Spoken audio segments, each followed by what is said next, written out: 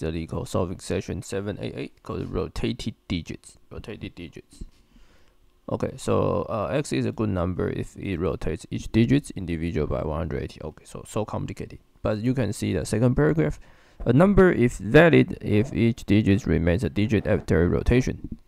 So basically 0, 1, 5, uh, 0, 1, 8 is rotate to itself.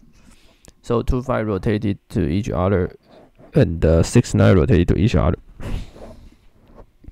Okay, so let me, so uh, from this paragraph, we know that uh, we have few things. The first thing is uh, if the we have if uh, if a number is valid, then must uh, it must contains uh, two, five, six, or nine. And uh, if and if the it contains the two, five, six, or nine, then and after you rotate it then it will be must it, it must be different. Okay, and if it contains 0, 1, 8, then it's also fine. And uh, but if it contains the 3, 4, 7, then this is not okay. Okay, so uh, this is defined to be good. Uh, whether basically it return here whether this is a valid number. So we need a 2, 5, or 6, or 9 in this string. So this is the first condition. At least at least one of them must be in the string. Otherwise which is not the answer. Otherwise, that which is, uh, otherwise that after we do a rotate, there there's no, nothing different.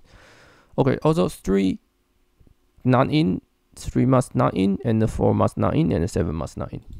Okay. So uh, this small function read just tell you that uh, it give you a number and then check whether it's it's valid. It's valid. Okay, so it's very that we start for, we start count to zero, then for i in range one to n plus one. So basically we iterate from one to and up to n. Check whether this is true. Check whether it's true. If it's true, then we count. We count. Finally, we, we return count. Finally, we, we return count.